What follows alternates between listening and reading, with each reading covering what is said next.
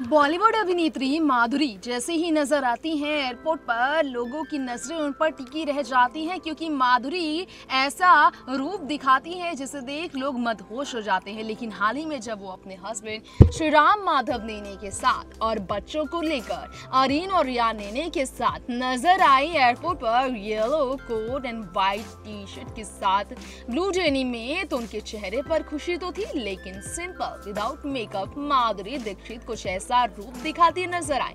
बच्चों और पति को देखकर ये लग रहा था कि माधुरी दीक्षित उनके साथ काफ़ी खुश थी, लेकिन माधुरी अपने हस्बैंड और अपने बच्चों के बीच अपने स्टारडम से रूबरू होती ही रही हैं कई बार, लेकिन उनके बच्चे जहाँ उनके पति काफ़ी खुश नज़र आते हैं, उनकी पत्नी को मिलने वाली लाइमलाइट को देखकर तो वहीं उनके बच्चे असहज हो जाते हैं, जिन्हें इस स्टारडम की आदत नहीं। स्टारडम से पढ़ने वाले लाइमलाइट लाइट की उन्हें आदत नहीं। खैर, देखिए जरा ये तस्वीरें।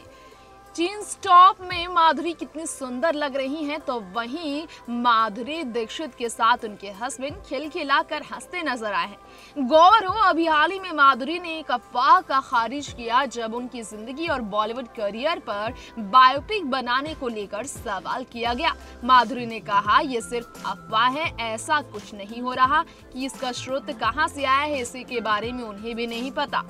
वो चाहती हैं कि फ़िलहाल बायोपिक बनाई जाए, इस पर ना चर्चा हो। जी हाँ ज़िंदगी में उन्हें अभी और भी काफ़ी कुछ करना है और इन अफवाहों पर ध्यान लोगों को नहीं देना चाहिए। नेक्स्ट नाइन न्यूज़ से तृप्ति की रिपोर्ट।